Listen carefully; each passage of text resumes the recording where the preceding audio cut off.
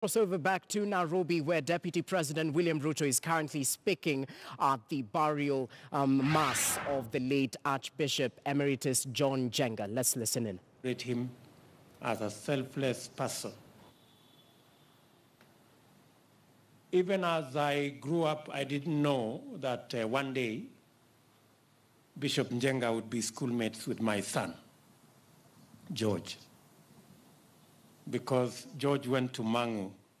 Although they were schoolmates, they were 70 years apart. but I don't know even whether I'd asked my son George to be a priest, whether he would agree.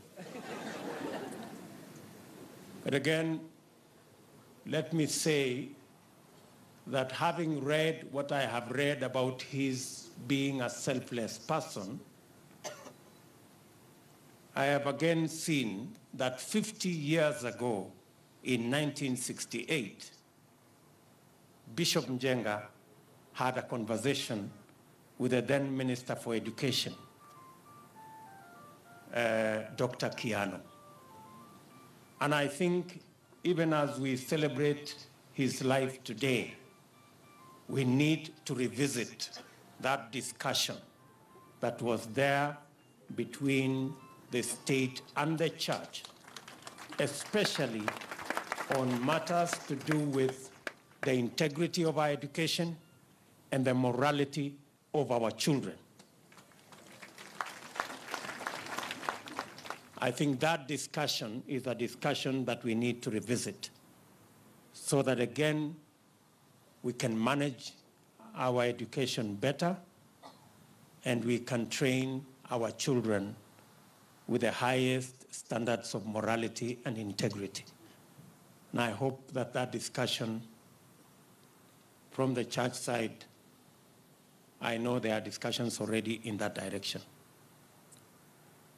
I do not wish to say more than that. We have here many leaders.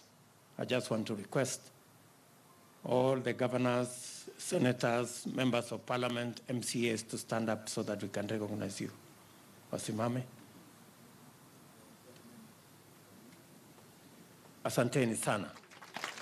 And then we have other government officials who are here, head of public service, and all the other members of provincial administration, all the way down. If they are here, they can stand up, we recognize them.